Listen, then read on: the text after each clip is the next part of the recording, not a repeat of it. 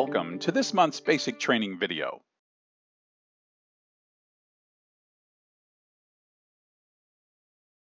In this video, we will show a basic overview of the Ventis Pro multi-gas monitor and the Sensit combustible gas leak detector. Both of these meters are used daily throughout Montgomery County for a variety of incidents. Let's take a look first at the Ventis Pro multi-gas monitor. To turn this meter on, push and hold the power button for 3 seconds.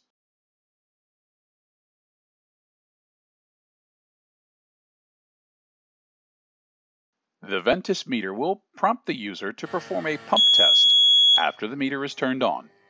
This will require blocking the inlet with your finger. After the pump test is complete, remove your finger from the inlet.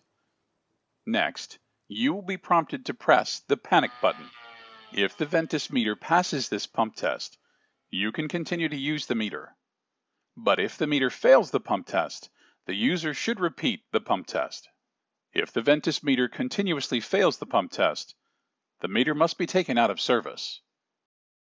Zeroing the Ventis meter should be performed daily and before each use on an incident.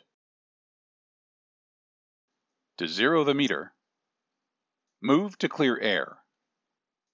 Now push the power button to scroll to the zero screen. Next, push the enter button to start the zeroing process.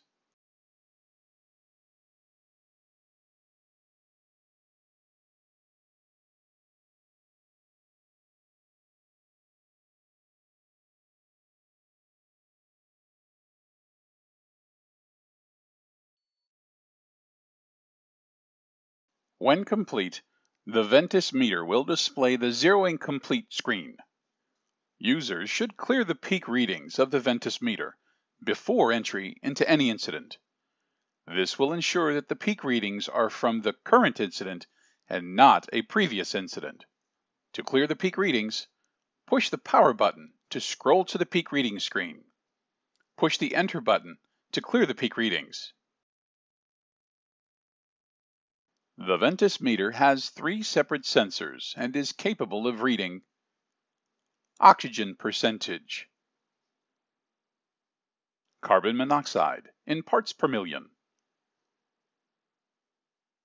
and lower explosive limit of certain combustible gases. Now let's take a closer look at these three sensors. The oxygen sensor detects the presence of oxygen in percent by volume of air.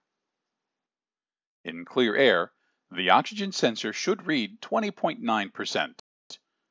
The low oxygen alarm activates at 19.5%. The high alarm activates at 23.5%. The measurement range of the oxygen sensor is 0 to 30%. The carbon monoxide sensor detects the presence of carbon monoxide in parts per million. In clear air, the sensor should read 0 parts per million. The low CO alarm activates at 35 parts per million. The high alarm activates at 70 parts per million. The measurement range of the carbon monoxide sensor is 0 to 2000 parts per million.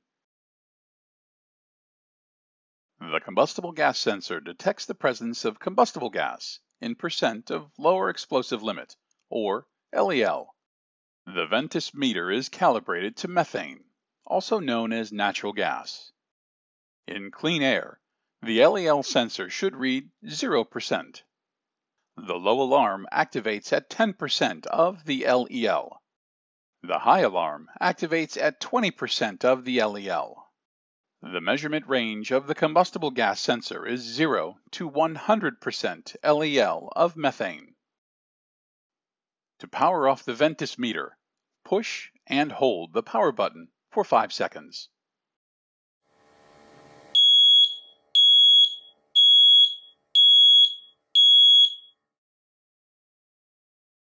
Now let's discuss the Sensit combustible gas leak detector.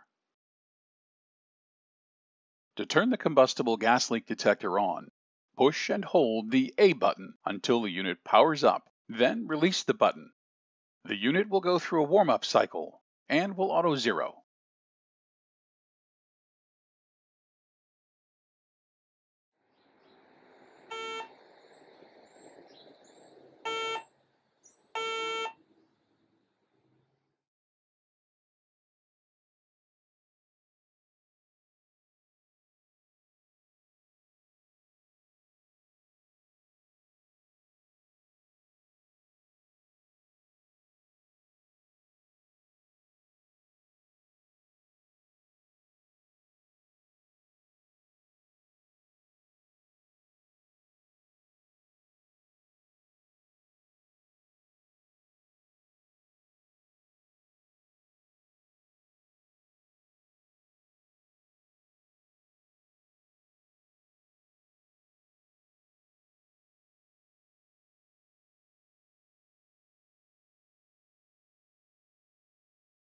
This meter has a user-activated audible tick button to help locate small gas leaks.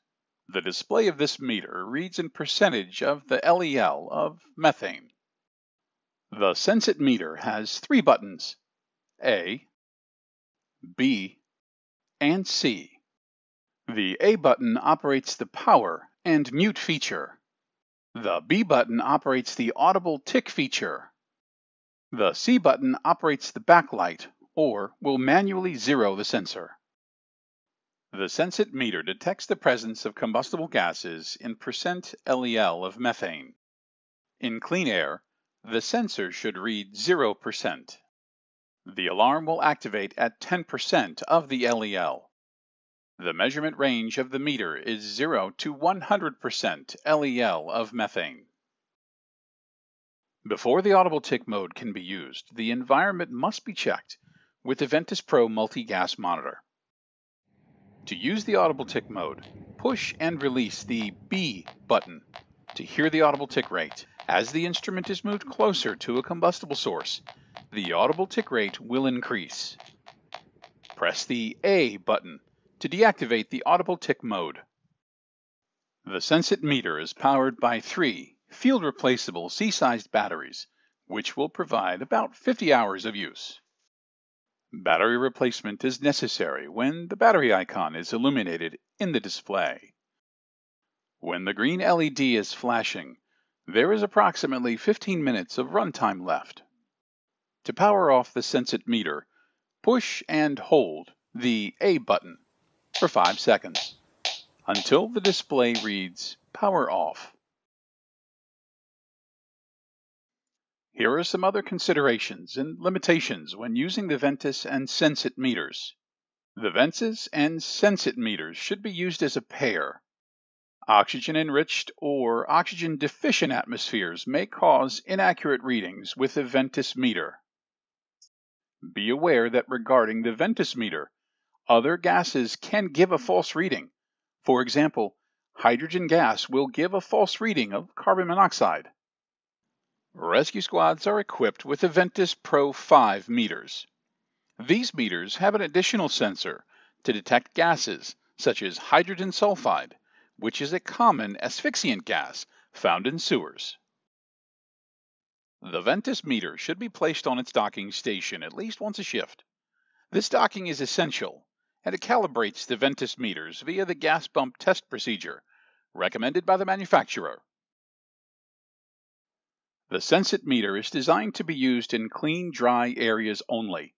Liquids will damage the sensor. Caution. When dealing with a propane release, the Ventis flammable gas sensor readings will be lower than the actual LEL. If you have any noticeable changes or discrepancies in meter readings, consider contacting a hazmat officer for a consult or a hazmat response. This concludes our monthly basic training video.